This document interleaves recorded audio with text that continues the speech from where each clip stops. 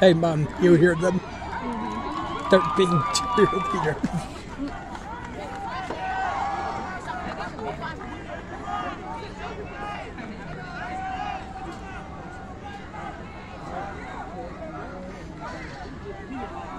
Hey, Mom, we need Felicia here Mm, Why? so she can say that somebody.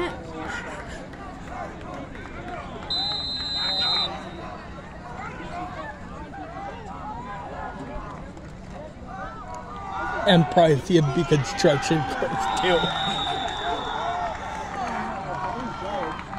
Warrior ball carrier number three, Victor Jordan. Stop for a loss of one. It'll be second and 11 from the 27 yard line. Beep, beep.